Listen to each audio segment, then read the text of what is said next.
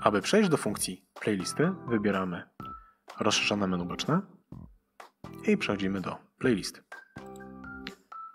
W tym oknie pokazują nam się domyślnie zainstalowane playlisty, które dostajemy wraz z urządzeniem, natomiast w prawym rogu mamy opcję Utwórz nową.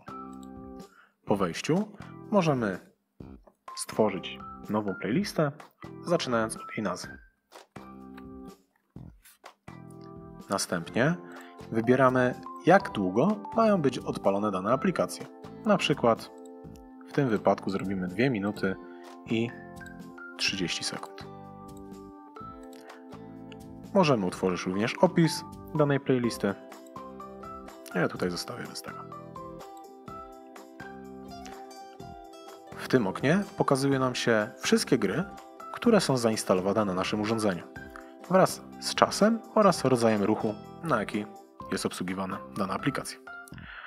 W moim wypadku wybiorę balony, bieżnie oraz może coś z interakcji pisakiem.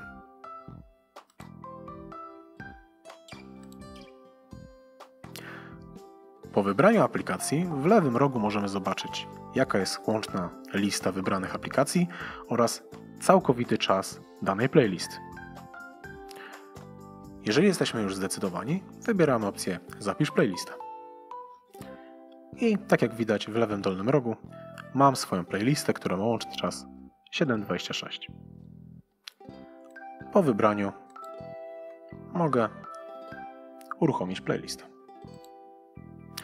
W tej chwili gry będą co 2 minuty i 30 sekund zmieniać się na następnie, następne, które wybraliśmy.